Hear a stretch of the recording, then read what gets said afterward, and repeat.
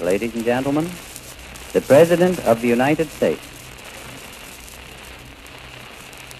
My friends, I want to talk for a few minutes with the people of the United States about banking. To talk with the comparatively few who understand the mechanics of banking, but more particularly with the overwhelming majority of you who use banks for the making of deposits and the drawing of checks. I want to tell you what has been done in the last few days and why it was done and what the next steps are going to be. Let me make it clear to you that the banks will take care of all needs, except, of course, the hysterical demands of hoarders. And it is my belief that hoarding during the past week has become an exceedingly unfashionable pastime in every part of our nation.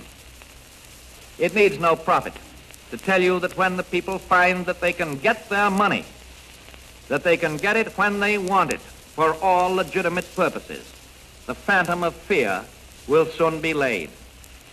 People will again be glad to have their money where it will be safely taken care of and where they can use it conveniently at any time. I can assure you, my friends, that it is safer to keep your money in a reopened bank than it is to keep it under the mattress.